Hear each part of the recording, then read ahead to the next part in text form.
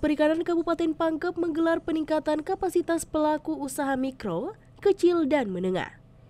Bupati Pangkep Muhammad Yusran Lologau hadir membuka kegiatan yang berlangsung di RMD Wakang Bungoro, Senin 26 Februari 2024. Bupati MIL dalam sambutannya mengharapkan kepada para pelaku UMKM khususnya yang bergerak di sektor perikanan, usahanya dapat meningkat dan berkembang hingga bisa merekrut pegawai atau tenaga kerja.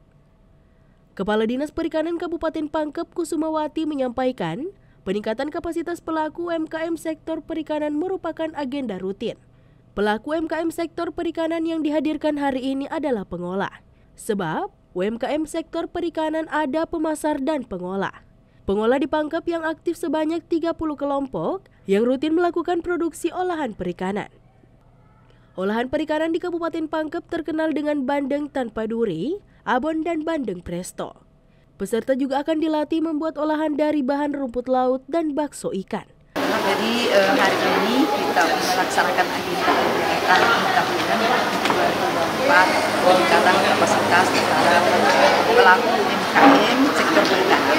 Sektor perikanan karena kalau pelaku sektor perikanan yang dihadirkan pada hari ini adalah eh, pelaku mengolah ya karena kalau perikanan itu eh, ada namanya pemasar, ada mengolah pengolah kita ini yang aktif Kabupaten Pangkep ini ada sekitar 30 kelompok yang aktif melakukan pengolahan. Meskipun uh, untuk secara keseluruhan itu sebenarnya ada 50 ya, tetapi ada juga kelompok-kelompok yang mereka melakukan aktivitas pengolahan pada saat mereka ada pesanan ya jadi artinya tidak setiap hari tetapi kalau yang 30 tadi memang sudah rutin melakukan produksi. Nah, olahan perikanan kita ini ada berbagai macam yang terbanyak itu adalah olahan bandeng cabut duri ya. ada bandeng resto ada abon ya, dan uh, apa komoditi uh, perikanan lainnya misalnya ikan gabus ya udang rumput laut nah pada kegiatan hari ini ada tiga narasumber kita.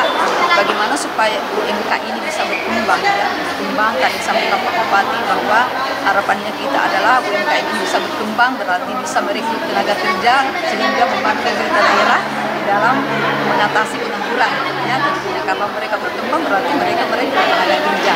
Nah pada hari ini dihadirkan dari BRI untuk permodalannya dan manajemen keuangan kelompok hadir dari uh, BPMPTSP provinsi sebenarnya memberikan pemahaman bagaimana mengakses perizinan ya legalitas usaha bagi mereka.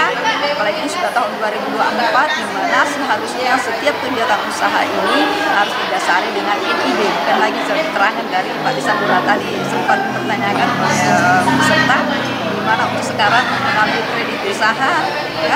Kur itu uh, sekarang ini yang harus dengan persyaratan ini karena itu adalah dasar sama dengan pendaftaran.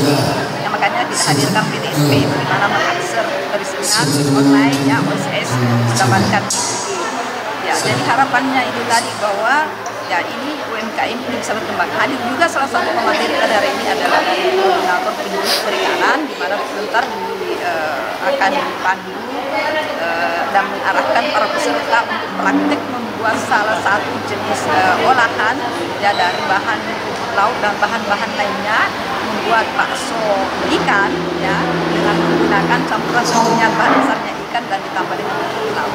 Dari Kabupaten Pangkep, Sulawesi Selatan, Pangkep TV.